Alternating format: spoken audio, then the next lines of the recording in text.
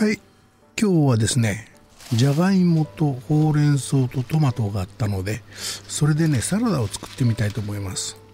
ほうれん草はあの週3ですね。あれがあるんで湯がいてくださいね。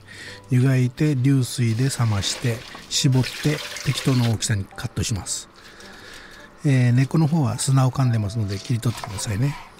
で3センチ幅ぐらいですね。で絞ってこのぐらいです。それとプチトマトがあったので半分に切っておきます。塩振ってもいいです。それとアンチョビ。アンチョビを2切れですね。ちょっとこのオイルも使います。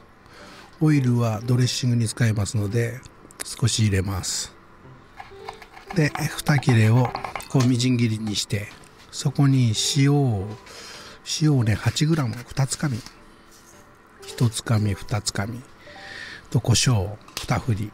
それとシェリービネガー。がなかったら何でもいいですよ。酸っぱいものだ。リンゴ酢でも普通の酢でも。オリーブ油。これピュアですね。ピュアなんでちょっと味気がなかったので後でごま油を足しました。これタイム乾燥タイムパセリ。それと今回ちょっとごま油を入れてまし煮ました。でこれドレッシングの出来上がりですね。それで先ほどの具材を混ぜ合わせてそこにあの一番最初に映ったのじゃがいもですね。じゃがいもあのレンジアップします。水分を入れて皮を剥いて熱いうちに皮を剥いてこのぐらいの大きさですね。これで800ワットでねえっ、ー、と6分から7分ぐらい。ちょっとやりすぎましたね。もう一歩手前で止めてもよかったですね。でじゃがいもを崩さないように熱いうちに混ぜていきます。でこれツナを混ぜるんですけどツナをね混ぜすぎるとぐちゃぐちゃになっちゃったんですよね。ちょっと見た目があんまりあんまりよろしくないのでツナはこれ油ごと入れます。油にも味がついてますんでね。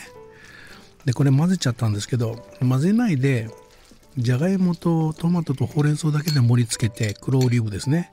で最後にあの器の上にこうツナを乗っけた方がいいかもしれません、まあ、自分で食べる分だからこれでいいですけど。で器に盛って。うちは器がそんなにないのでグルタン皿に盛りましたけど。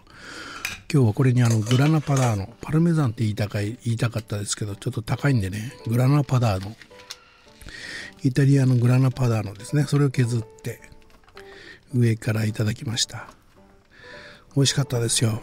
シェリービネガーがやっぱ効いてますね。それと黒オリーブもそうですけどアンチョビ。それと今日は日本ワインを小樽ワインを飲みました、いただきました。美味しかったですよ。